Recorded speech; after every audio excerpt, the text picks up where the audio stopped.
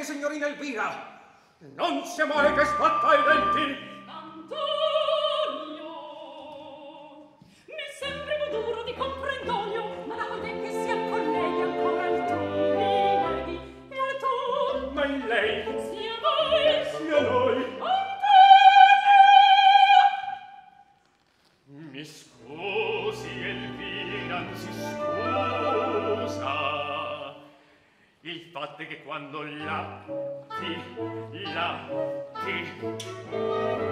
La ti vedi